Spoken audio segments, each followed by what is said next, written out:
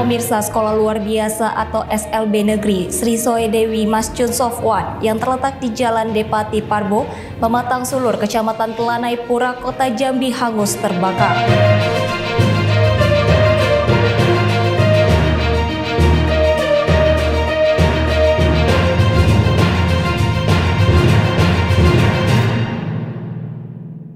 Selamat malam pemirsa, apa kabar Anda hari ini? BTV News kembali hadir menyapa Anda pada malam hari ini dengan menghadirkan sejumlah informasi terkini, menarik dan inovatif serta berbagai peristiwa yang terjadi di dalam Provinsi Jambi.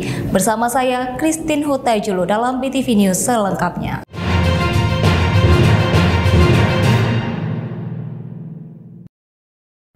Berita pertama pemirsa sekolah luar biasa atau SLB Negeri Sri Soe Dewi Masjun Sofwan yang terletak di Jalan Depati Parbo, Pematang Sulur, Kecamatan Telanai Pura, Kota Jambi hangus terbakar. Peristiwa kebakaran terjadi pada Sabtu 4 Februari sekitar pukul 11.30 WIB.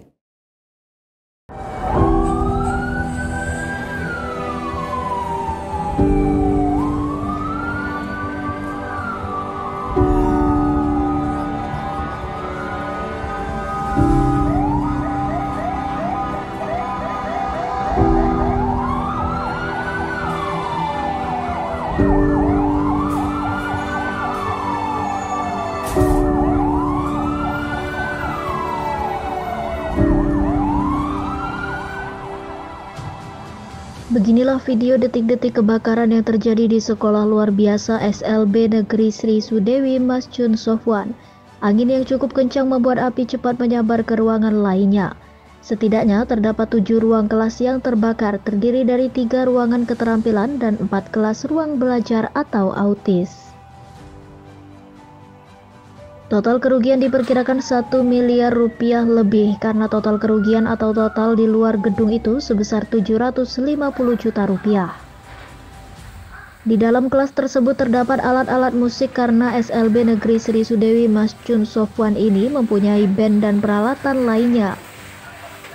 Kepala Dinas Pemadam Kebakaran dan Penyelamatan Kota Jambi Mustari Afandi mengatakan, dalam evakuasi kebakaran tersebut dirinya telah mengerahkan sebanyak 70 orang petugas dan 10 unit mobil damkar.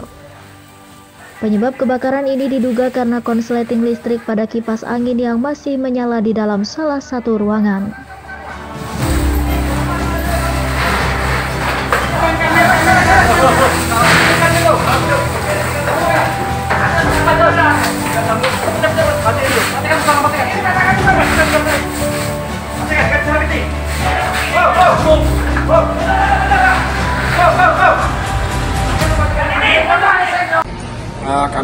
Menerima laporan dari masyarakat pukul 13 ada kebakaran di sekolah luar biasa.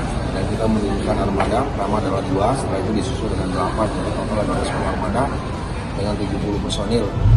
Dan asal mula api itu adalah di ruangan reses dan menyambar secepat mungkin karena angin yang sangat kencang sehingga uh, sampai ke ujung.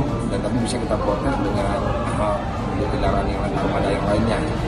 Nah, asal api tersebut setelah selesai pendinginan kita langsung melakukan investigasi terhadap sumber api dan juga asal ledakan yang pertama, kedua titik awal api uh, menyala dan itu dengan lakukan ternyata adalah di ruangan salah satu ruangan penyesas ruangan tersebut ada kipas angin yang tidak dicabut dan ini pernah kejadian di salah satu konter HP begitu juga dan uh, kabelnya tersebut meleleh dan mengenai uh, buku tulis yang ada di bawahnya. Nah, jadilah kebakar, buku tulis kebakar menggambar horden. Nah, horden tersebut sampai ke listrik akhirnya menggambar ke ruangan uh, ruangan musik. Di ruang musik itu ada uh, trafo, akhirnya terjadi ledakan juga. Nah, akhirnya uh, menyebabkan kebakaran. Berapa ruangan nih Pak Adis? Tujuh ruangan. Tujuh ruangan. Tidak ada korban jiwa dalam kejadian ini karena saat terjadi kebakaran sedang tidak ada aktivitas belajar mengajar. Mustari menghimbau kepada masyarakat untuk lebih waspada dan selalu hati-hati dalam penggunaan arus listrik. Api berhasil dijinakan setelah satu jam proses pemadaman dilakukan.